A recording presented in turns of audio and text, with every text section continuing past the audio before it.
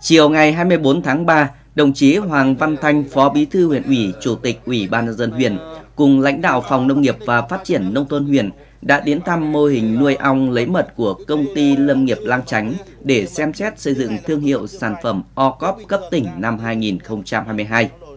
Với lợi thế có môi trường rừng tự nhiên phong phú, công ty Lâm nghiệp Lang Chánh đã thuần hóa được ong rừng lấy mật và nuôi ong ở khuôn viên của đội sản xuất số 4 tại thôn Triềng Lằn, xã Giào Thiền.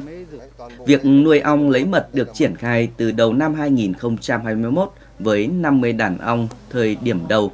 Đến nay, công ty đã nhân rộng lên gần 200 đàn.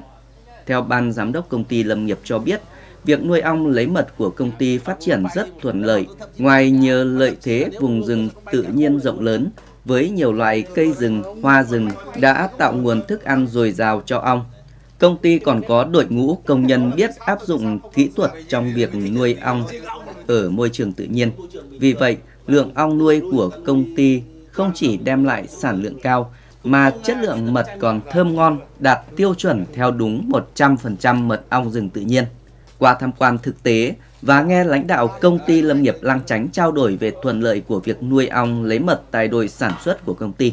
Đồng chí Hoàng Văn Thanh, Phó Bí thư huyện ủy, Chủ tịch Ủy ban nhân dân huyện đánh giá cao hoạt động nuôi ong lấy mật của công ty. Đồng chí nhấn mạnh, hiện nay việc sử dụng các sản phẩm nông nghiệp sạch đang là xu thế của người tiêu dùng. Để làm được điều đó, sản phẩm phải có nguồn gốc xuất xứ rõ ràng, phải sạch, đảm bảo chất lượng, vệ sinh an toàn thực phẩm. Đồng thời đề nghị lãnh đạo công ty tiếp tục nhân rộng mô hình. Bên cạnh việc chú trọng kỹ thuật nuôi để đạt sản lượng, chất lượng, thì công ty lâm nghiệp cũng cần chú ý đến việc xây dựng thương hiệu, tem nhãn cho sản phẩm để không còn là sản phẩm thô mà thay vào đó là những chai mật ong với những mẫu mã bắt mắt, có bao bì địa chỉ rõ ràng và tem truy xuất nguồn gốc, từ đó tạo ra một sản phẩm có thương hiệu đặc trưng, nâng cao giá trị cũng như sản phẩm mật ong của địa phương Lang Chánh.